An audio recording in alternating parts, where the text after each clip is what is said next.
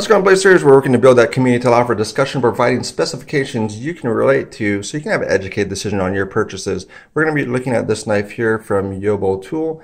Uh, this is a new company. Uh, so first off, to build confidence in this brand, uh, I did actually send this out for metal testing. So Kurt, thank you very much for allowing to do that uh, for the community because it's something I've been looking at for a long time, but I'm not going to be spending 16 to 30 plus thousand dollars on a metal tester. I don't have the Rockwell testing uh, unit, but he does. Uh, so excellent for that. So this did come back as being uh, actually VG10. Uh, so that's what they actually list on the blade, uh, but you're not going to be actually able to know that for a new brand. You're going to kind of take it at face value. And as a new brand, it's kind of hard to build that confidence level. Uh, so first off, Yobo Tool, uh, proper steel, VG10 is what they have it listed. VG10 is what it is. And also for this one, uh, as far as a Rockwell hardness uh, for it, uh, they actually came out with 58.8. Uh, so that's the testing here. so that's what he provides. so this one was tested against the SOG knife. so SOG with their VG10 uh, so they don't actually have it in their system, so that's why it says no match here, uh, but it actually is the appropriate steel in comparing the two. So very good on that. So for the giveaway side of things, uh, we are going to be having that come up. I guess did surpass 500 subscribers, which is great, excellent. I still remember when it had like 100 subscribers, and then so it's really come a long way. So I appreciate the folks that have been kind of along for that journey. Uh, so if you want to check out that video, uh, leave a comment on that one as well if you want to be part of that giveaway because uh, we have uh, five knives that are going to be in that giveaway for that. Uh, so check it out. And then also it seems kind of weird for us to ask for subscribers, but it's really kind of that scorecard or that grading as far as how we're doing, if it's the content that you guys like to see. Uh, so that's why that's kind of asked for within videos because really for YouTube, they consider kind of a thousand as being kind of that legitimacy for a channel. So that's kind of where we're kind of striving towards as far as the other channels as well. So great on that one. Uh, so this is the second knife uh, for Yobo Tool. The first one was the Aurora, which is uh, something that started on Kickstarter. Then we went to Silverback, and then we have the newest one available on Amazon as well, which is the Cayman. Uh, so check those out if you want to, see what the brand's all about. And then something I was able to kind of play around with. So if anybody's seen the CRKT Jettison, uh, this is one that I was able to customize and it's kind of a fun little task to get into. Uh, the Jettison had kind of a, a little uh, hump on the blade. So I did pick one up where that was kind of profiled and I had to clean it up a little bit. And then I did add uh, some of this texturing uh, that actually does add uh, some actual grip to it. so that was something kind of played around with as far as just a Dremel bit. So kind of playing with that. Let me know what you think about that as far as uh, some modifications. Uh, so that was that little fun little task. And I actually really do uh, like that uh, knife. And this is actually on Teflon uh, washers, which is pretty, pretty smooth. So this is actually going to be tip up right hand only uh, for this blade. And then, so that is the pocket clip on there. Could use a little bit more refinement for it because it's a little bit uh, sharp around the edges uh, in comparison to some others that are kind of that stamped steel. Uh, so that's how that is carried for that. But we're going to look at some of the hand sizing. So starting off with the adult female's hand, kind of across, and then at an angle where you're going to be normally carrying it. And then we're also going to be having uh, the adult male hand, and that's going to be across for that one and then also at an angle where you normally carry that one too. So as we already talked about as far as VG10, so we're going to go over some of the uh, things with this steel. Uh, so we'll start off with corrosion resistance for it on the chart here, as far as where that stands for the other ones. And then we'll go into the hardness. And then we did actually cover the hardness specific to this one. Uh, so that one's going to be at that 58.8 uh, uh, for Yobo Tools VG10. Uh, so that might be a little bit different than the chart. And then we have wear resistance. And the last one's going to be that uh, combination of everything. Uh, so that's going to be the edge retention as far as having that usable edge uh, for that time period. Uh, so that's going to be some of the things for that. And then we also do have uh, for the channel the Lyman pull gauge, which is used for the, the flipper tabs. So about two to three is kind of really an enjoyable level. uh, as far as ounces uh, for uh, pull. And then so we're going to get that on this flipper tab, kind of see where we are uh, for this one. This one's a little bit higher, uh, so it's still uh, somewhat enjoyable, but uh, 3 pounds, 13.6 ounces, so almost 4 pounds. So it's a little bit higher than what would be kind of an enjoyable level, but with that, it is really locked down well. So that detent in a closed position, you don't have any rattle or anything with it. The blade's solid there. And then also in the open position, it's also going to be solid. Uh, so uh, this is running on uh, ceramic bearings, uh, which is a very good thing uh, for this brand as well. So that's going to be how that works. Uh, this one has the two deployments, so light switch as well as push button. it does not work in inertia flipping, so it does stay in there. So with that detent, you can't actually shake it out, but it does have the push button and also for that light switch uh, manner for that. So no thumb studs on it. So that's going to be how you're going to be deploying this blade. And then you can actually look also on the knife roll as far as how this is going to sit in your pocket. Uh, it's not a deep carry clip uh, for it.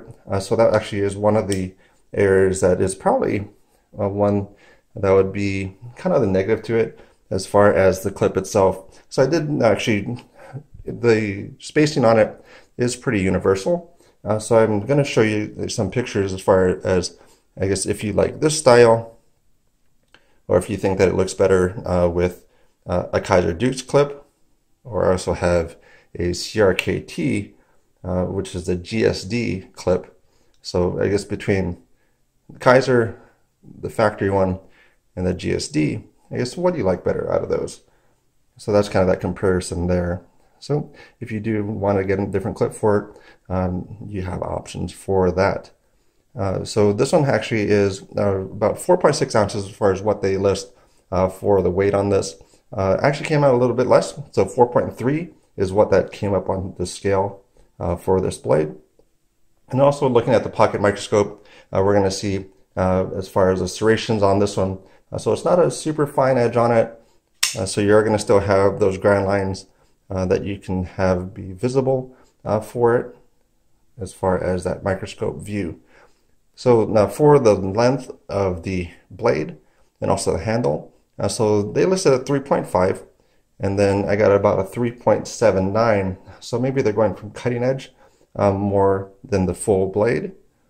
And then also for the handle side, they have 4.5 and then I got uh, about 4.69. So you can see on those different uh, measurements for that. Sharpness side, uh, a little bit lacking uh, for the sharpness.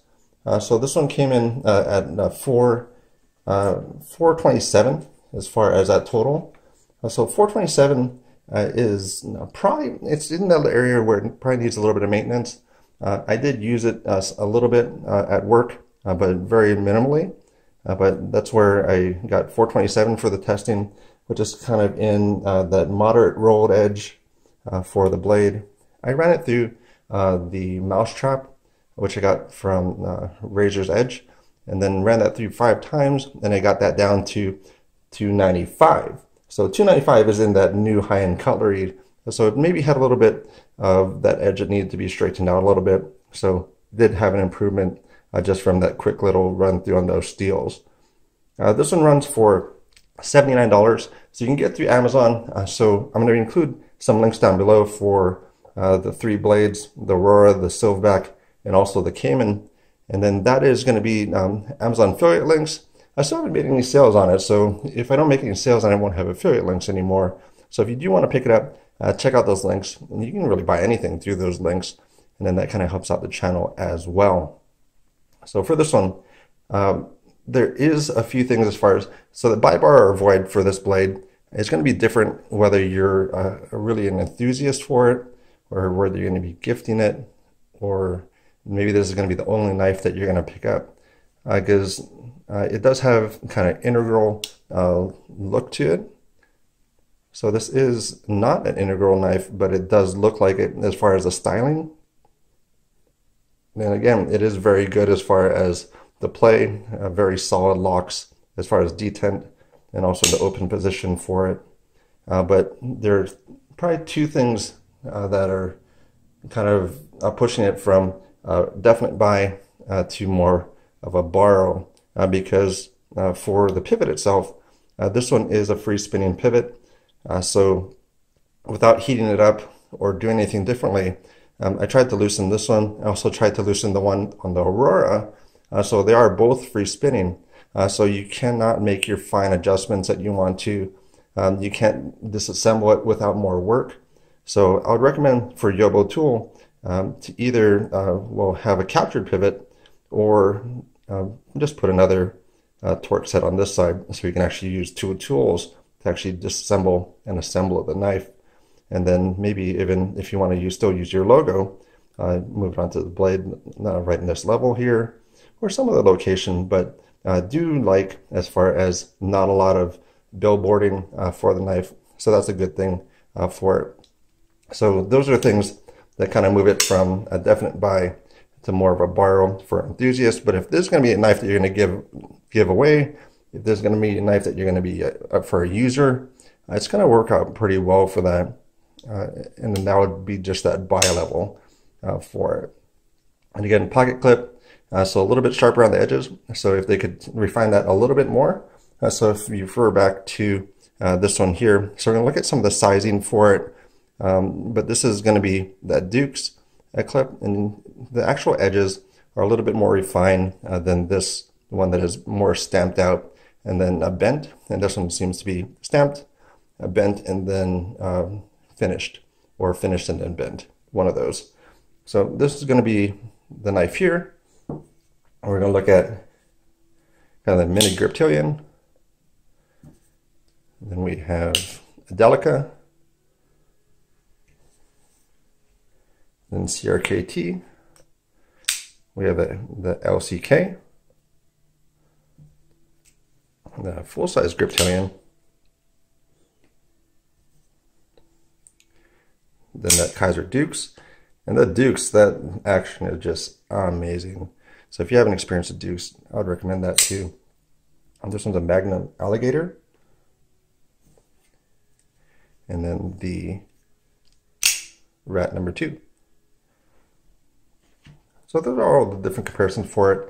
So check it out. Let me know in the comments down below as far as what you folks think. Uh, but uh, good start, Yobo tool. A uh, little bit more refinement, I think, then you could really be a contender uh, for it. Uh, but this one is at $79 uh, for this one here. So check it out. Let me know in the comments. And thank you again for your time.